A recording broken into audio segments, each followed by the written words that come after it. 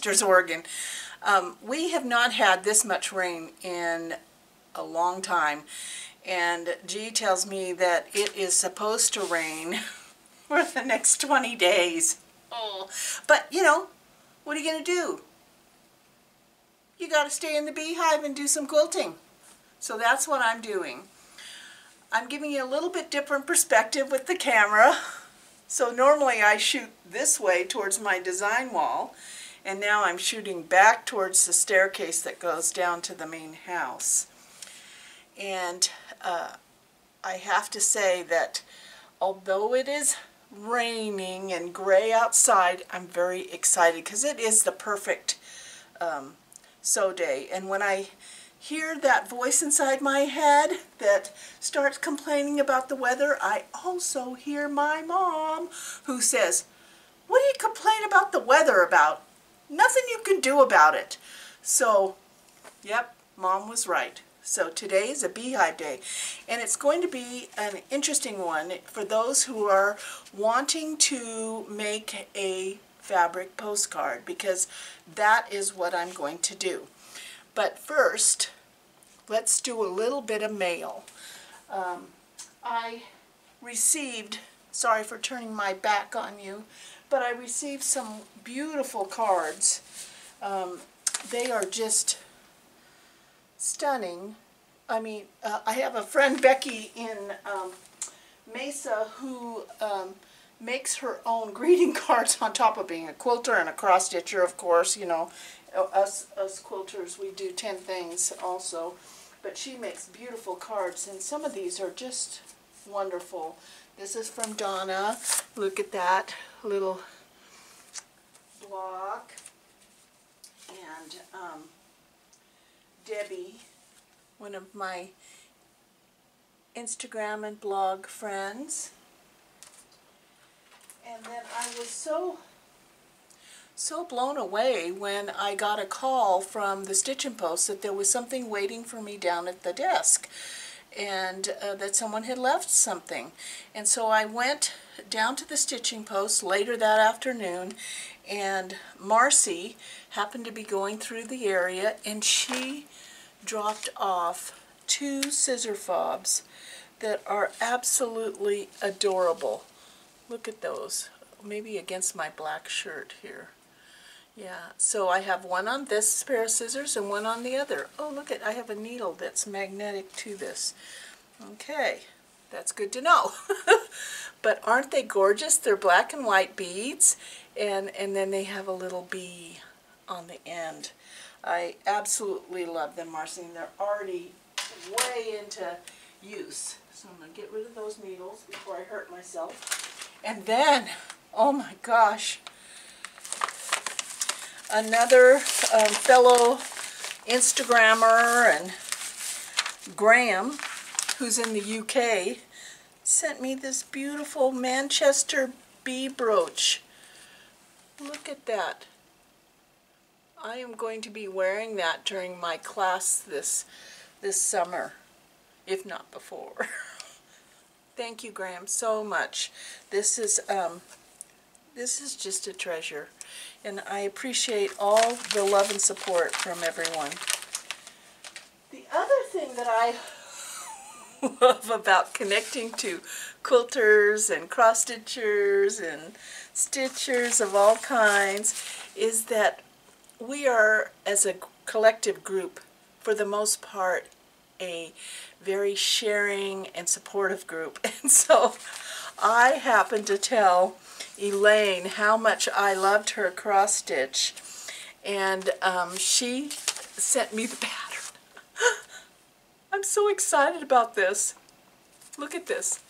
The bookshelf. It belongs in someone's library.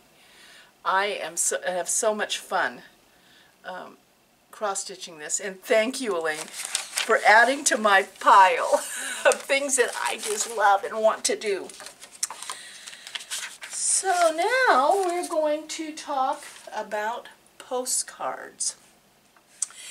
And I'm not going to um, drag this video out with you watching me design and all of that. I am not a designer per se, but the way we raise money for the arts and sisters uh, is in various ways. And the Sisters Outdoor Quilt Show supports the arts besides supporting the free quilt show and sisters, um, they support the arts and music in the schools. And so um, they ask all the teachers and people who want to to donate fabric postcards and all of the teachers postcards and some of the other artist postcards are framed and they are framed by um, Myrna of High Desert Frameworks in Bend. And let me tell you, she is an artist in framing and has won international awards for her framing. She really, I, I, I can't tell you how beautiful it um, enhances whatever work you want to have framed. So I realized that I had to get on the stick and make my postcard because the deadline was uh, the postcards had to be there by May 1st. Holy moly, have I got to get moving. That means I have to think of something, design something, stitch it, and have it ready to go to Myrna so she has time. She donates all her time and product to frame these postcards such a, a, a generous heart. Um, so that's what I'm doing today, and I'm taking you along. Uh, because I'm not a designer, it's always a, a, a, challenge for me to figure out. But just to give you an idea, anyone can send in a, post, a fabric postcard, and they are sold to support the music and arts. And if you decide to do that, you uh, and there's also a Robert Ho uh, Kaufman fabric challenge where they give you a few squares of uh, Kaufman fabric and you make a postcard of it and send it back to the Sisters Outdoor Quilt Show. But they all have to be here by May 1st, so if you're interested, get on the bandwagon with me. So for the last 12 years, they've raised more than $104,000 through auction and sale of these postcards. They jury the, the board juries the postcards and approximately 12 to 18 of them are custom framed. And then um, Myrna, the owner of High Desert Frameworks, um, brings them out there, they're set up, and there's this silent auction that goes on all week during the Quilters Affair out at the high school. If your fabric is not juried to be framed, it is still being sold at a premium price to be to raise money for the arts and music, and we so appreciate that you do that. So to give you an idea, I will show you the postcards that I have bid on the auction and actually won. Just to give you an idea of the framing. So here is a postcard by Jean Wells. Now I figured, you know, I need to um, own one of her postcards. It's a, it's a requirement it, it, hers are so indicative of nature and what's around here. So I, um, I had to get that postcard. And sometimes it's a knockdown, drag out fight to get those. And then this one, I, I bought this one for G because it was, uh, it was auctioned, uh, it was auctioning off and people were walking by and going, what is that? But I, I recognized it right away that it was a topographical map of sisters. So I bid on this and got it. And G was out of town. He was at the Blues Festival in Portland. And I hung it on the wall to, to see if he would notice. And he walked in the house and he, he saw it and he goes, oh, a map of sisters. I knew I'd bought the right postcard by Karla Alexander. So that's awesome. Then Tonye Belinda Phillips, who is a local artist and teacher, she um, was teaching a postcard class. She teaches the postcard class at the Stitching Post.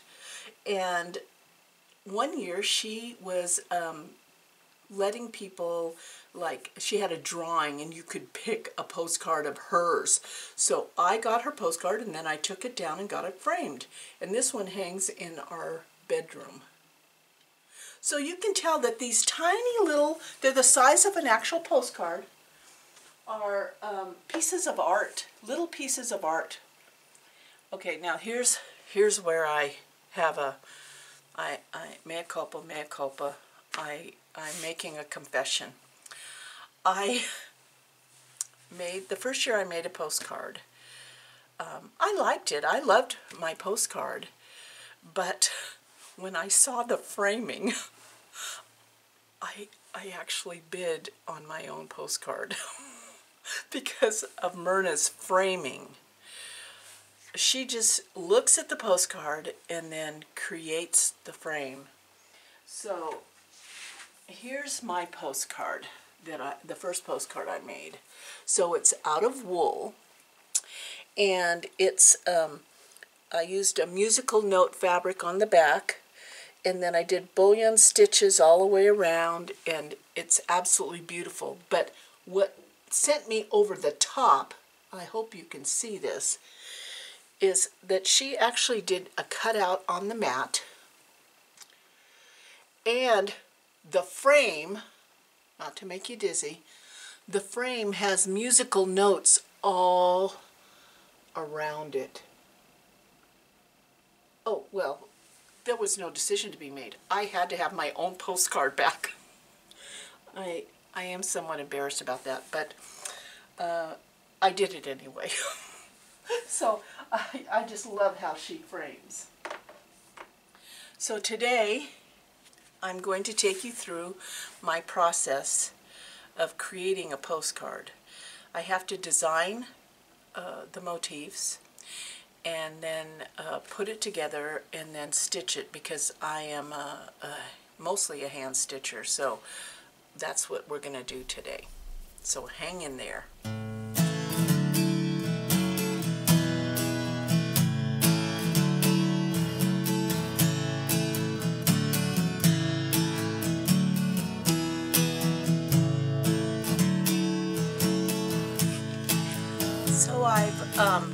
Chosen my fabric, I, I tend to, for the last three years I've been using the same fabric because I just love the musical notes and it's kind of a tone on tone a little bit. So I already have a SF uh, 101 Pellon product on the back of this fabric so it's kind of stabilized for my hand stitching.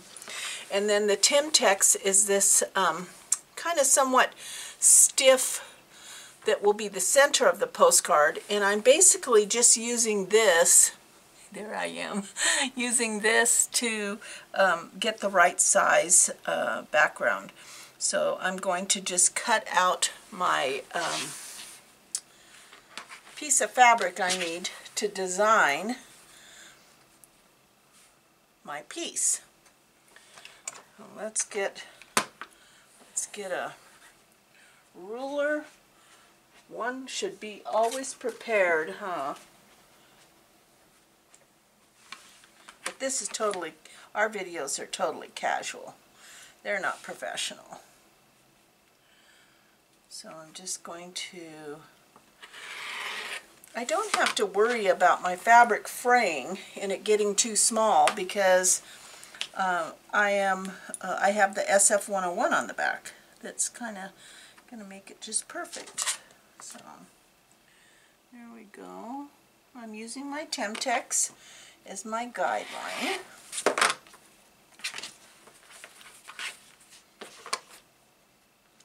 Someone needs a new blade.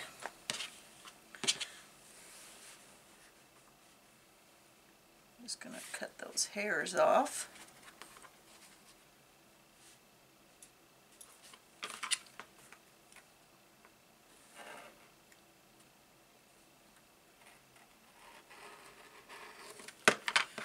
Okay, so now I have the base of my postcard.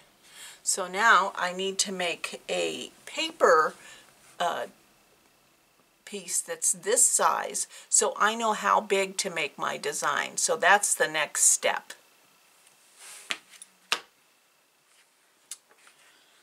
I lucked out because my cute little notepad was the exact length of my postcard.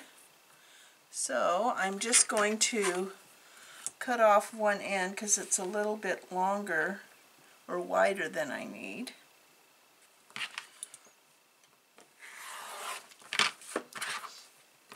So now I have a piece of paper to, to make my design on uh, of what I plan on uh, creating on the postcard. So stay tuned.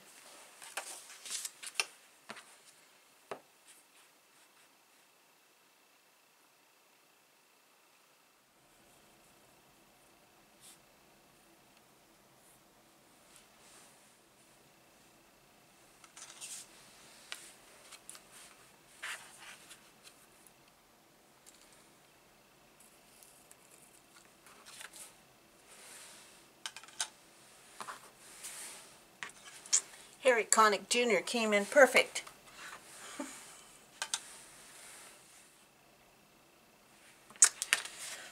So I guess I'm going to do something along this line.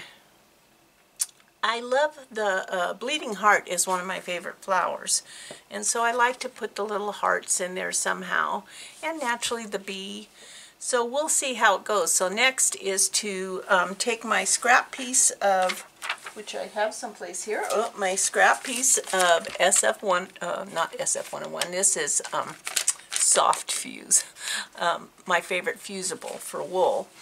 And to start picking out some scrap wool and doing the designs and putting them on there, on my postcard.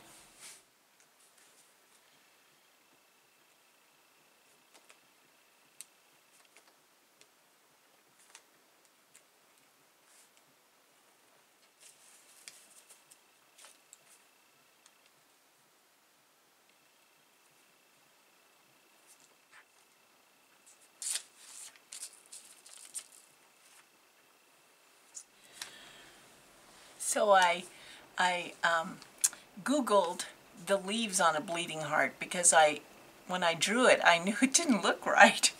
so I Googled that and now I've drawn um, something more in line with what the leaves look like. And then I trace my motifs onto my um, soft fuse. And now I'm going to cut out my wool pieces.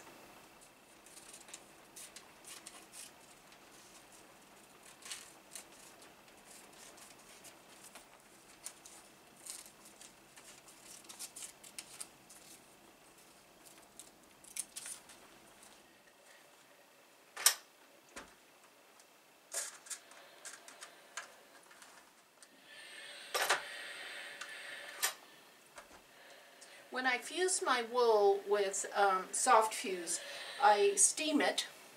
I don't care if it says don't use steam. I steam it from the front and the back. And I've never really had any problems. So sometimes breaking out of the mold is better.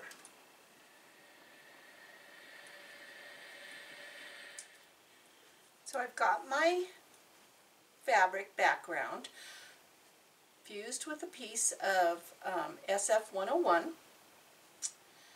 and I've got my motifs drawn and fused on wool with the soft fuse. And now I'm going to cut them out. These fabric postcards are fun to make. Just in general, all the only uh, difference from sending a fabric postcard and, and, a regular postcard is that you have to um, be sure to go up to the window and have it hand stamped. It won't go through the post office machinery. But I have received some beautiful fabric postcards. Um, and my friend uh, who is the light table queen at Mesa uh, on my favorite light table, she sent me several last year that were just so fun to receive. There's my beehive.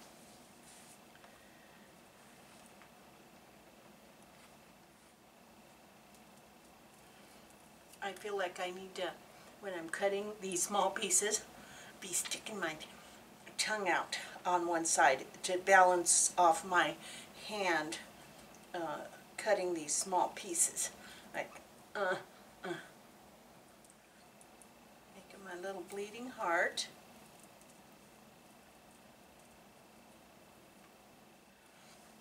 I'm going to cut my leaves out. The thing about a postcard is these are tiny motifs.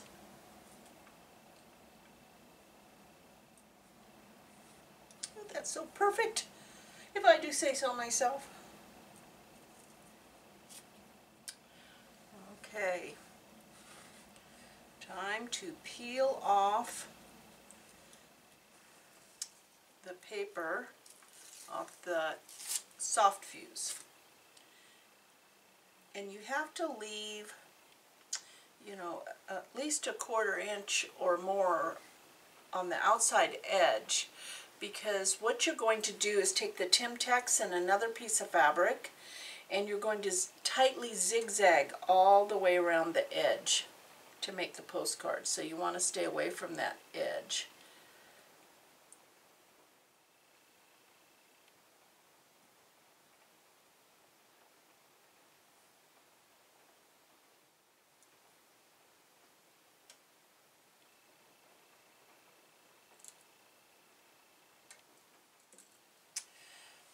Okay, so I've arranged my um, motifs and now I am ready to do the permanent fuse. Here we go. Are you ready?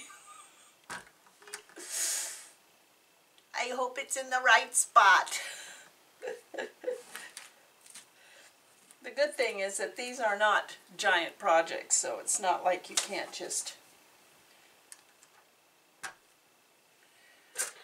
redo it if you had to. But given that I've got all these deadlines, I need to get this done. So now I'm going to turn it over and steam it from the backside. Get that wool all in there.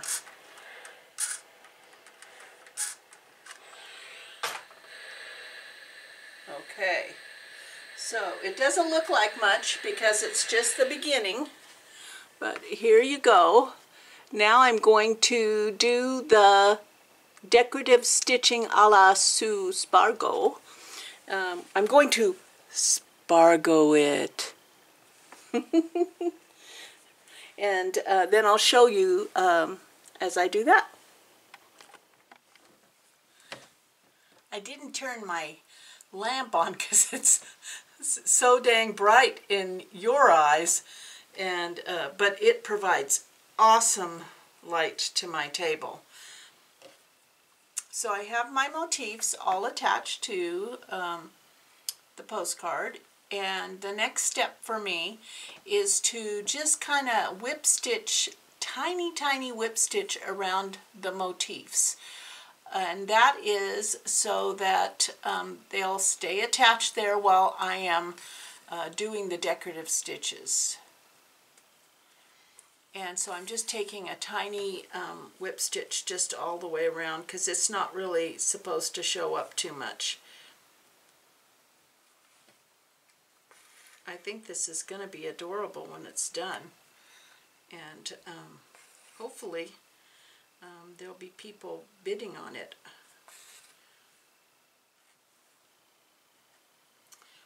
When it comes to whip stitching the motifs down, you want to kind of match the thread to the um, fabric only because you don't really want it to show up.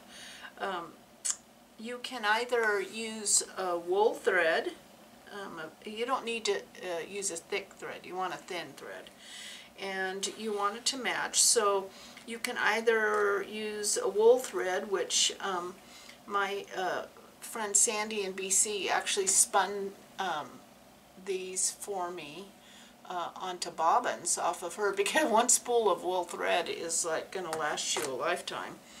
And, uh, or you can sometimes find them uh, and buy them like this, although I have heard that these, the maker of these uh, donuts are, is not doing that anymore, but I don't know that for sure. Uh, but if I don't have a wool thread that matches, I use embroidery thread, one strand of embroidery thread. I'll even use regular sewing spool thread if it matches and because uh, I'm just giving it a tack down so then I can go back and do the decorative stitches on it. This project needs to be done and off my list today. so that's what I'm doing. I'm putting my nose to the grindstone because I have to make another auction uh, wall hanging and I, I want to be sure to be able to give that some time and it has to be done. But the deadline is a couple weeks later than this one.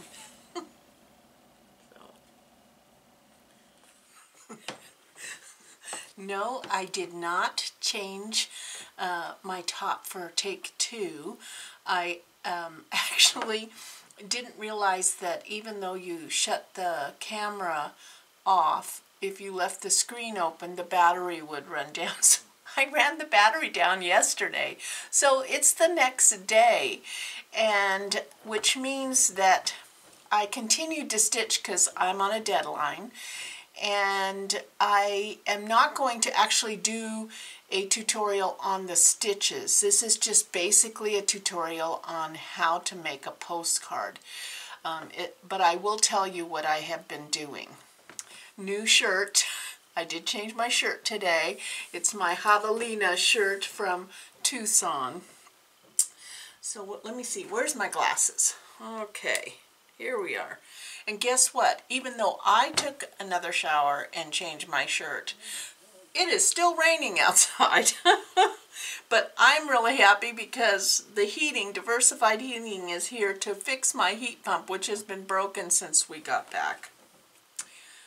So after the video camera shut down yesterday, I continued to stitch. And what I did here is for the stem, I just did a stem stitch. I did little tiny bullions around the hearts. And I am currently doing a palestrina stitch around my beehive. So this is what's going on this morning. Also, I am using my Sue Spargo Bible. And I know some of you um, prefer other uh, stitching Bibles, and I totally get that. It's how it works for your own particular brain. And for whatever reason, this old copy, the original copy of Sue Stitching, works for my brain.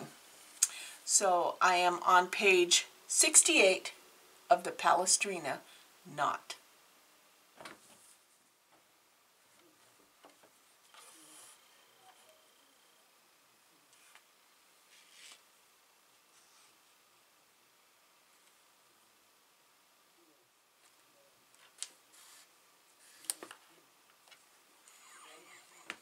I am like, okay, here's the problem. And I know some of you are just like me. You don't want to, you don't want um, to have a lot of, what am I trying to say? You, you don't want to thread your needle too many times, so you get this big honking piece of thread, but then you're sewing your scissors and your other thread to the back of your project. Really, 18 inches I think is the max. And I think this might be 36 inches if I do a yard. I have a yard of thread. No wonder I am sewing everything to the back of my project.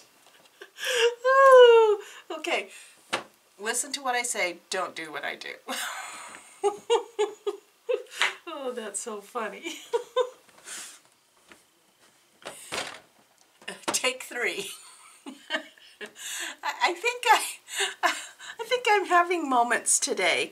I, I, I thought I, I am not the best person to video, but I, I cannot make, uh, I cannot ask G to make his whole life revolve around our videos. So I tried to do some myself, which meant that yesterday I uh, let the camera die, uh, the battery die, not the camera, the, uh, the battery die on the camera, so I could not continue stitching, I mean, stitching, I could not continue videoing yesterday. Thus, you see me in a different shirt on the same video, it's because it's the next day. But I had to continue on with the project because I have deadlines. And um, this video is about making a postcard, not about stitching. So I am not going to be demoing um, my stitches. I use this book, Sue Spargo's Bible, her first book. Everyone has uh, their favorites of stitching books and it's how it works for your brain. And for some reason, this original book is my go-to book. And so this is what I have done. I um, put a stem stitch for the stems. I did a little bullion stitch around each heart and I am now working on the palestrina stitch around the beehive. Now, um, that is on page 68 of this book. A future video, I'll actually uh, do a little stitch demo, but I think I have already done a palestrina stitch on a previous video, so that's what I'm doing now. And then I, I have, you know, maybe one should clear the space when you're stitching and uh, do not do what I do, uh, do what I say, which means um, you should only be cutting your thread 18 inches at the most. But as you can see, this, this one is like over a yard long if I go nose to hand uh, uh, measuring a yard. Uh, and so I keep sewing, attaching my scissors and other thread to the back of my project. But, um, you know, it's real in the beehive. There's nothing pretty about it or professional. So that's so today I'm going to finish up this um, uh, stitching on my postcard and then I'll show you how I put it together. Um, and it's fun. It's fun to send these through the mail. Uh, you just have to make sure you go to the post office and have them hand stamp it. Yeah. And so if you want to send any to me, I'll, I, I'll be really happy to receive them. Right now it's a little noisy around here because uh, diversified heating is here and finally um, fixing our heat pump, which when we arrived back a couple weeks ago was broken. so we've been um, jury rigging heat in this house. So um, that's where we're at. So stay tuned. Well, I have um, finished the stitching. As much as I want to do. And the Palestrina knot just added such lovely texture to my beehive. And then I had that little charm, that bee charm that I found at the West, which is a fabulous shop in uh, Tucson, Arizona. Uh, and we did a video on that, so if you go look at that shop, this was the little bee charm that I bought there, and that is going on to my postcard. So the next step for this postcard making is to uh, make the back. So I cut it, cut a um, piece of muslin the same size as my Timtex, which is that hard, hard product that will be on the inside of the postcard that will give it um, some heft. And even though for this particular postcard, you, it, you don't see the back because it gets framed, I am going to make the back look like a regular postcard um, to make it look, you know, how you would if you made a postcard and wanted to send it to your friend.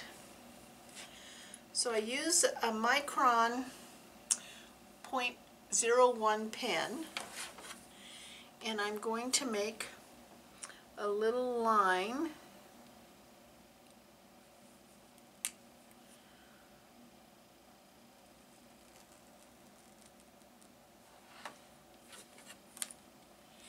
And then I like to always, this is just for my own pleasure,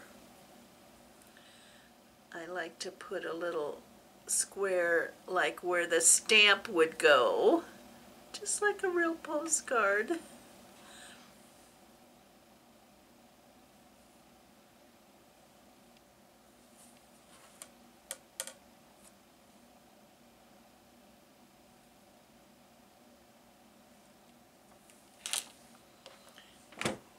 So there's the back of my postcard.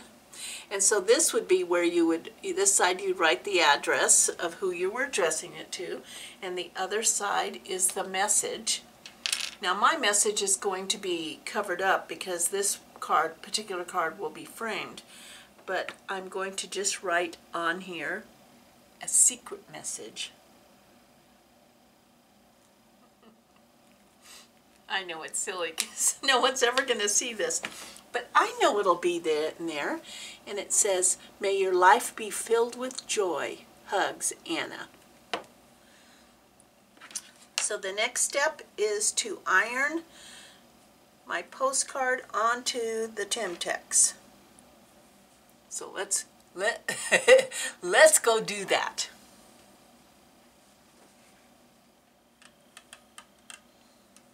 I have to be careful around the bee.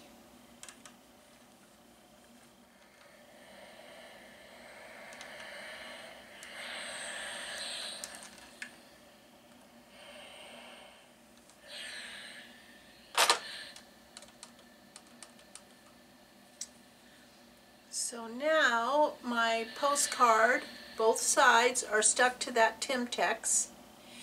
And the next step is to do the satin stitch around the edge. So we're going to do that next.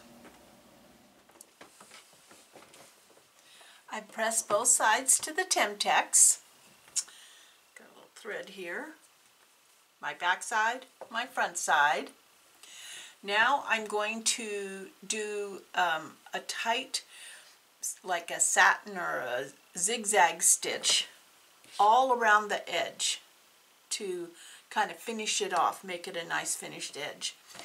And because I can never tell um, quite how I want it, I test run my sewing machine on the zigzag and how tight I want it and how wide I want that uh, zigzag to be because it's not going to look like a zigzag stitch when I'm when I'm done with it. I'm just going to fill the whole outside edge.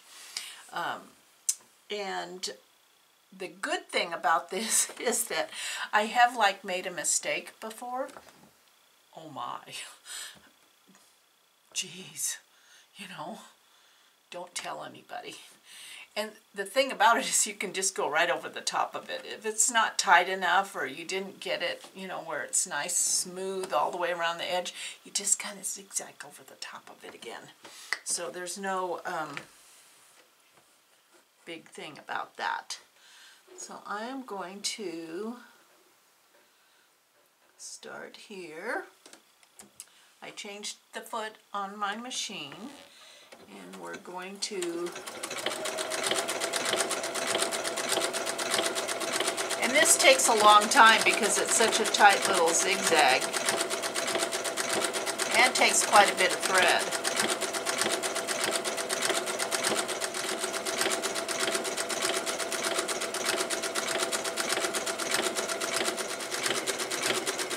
Look at I'm sewing one-handed.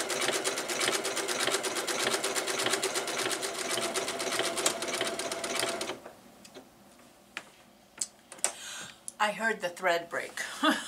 so I'm going to rethread it. Oh, but it is looking nice. It is looking nice. So you can see how I'm going around the edge. I'm just going to cut the hairs off, but here I still have to go back around the um, oh, this side right here because it's not quite tight enough. So that's what we're doing. But I've got to rethread my machine. I obviously was pushing it too hard.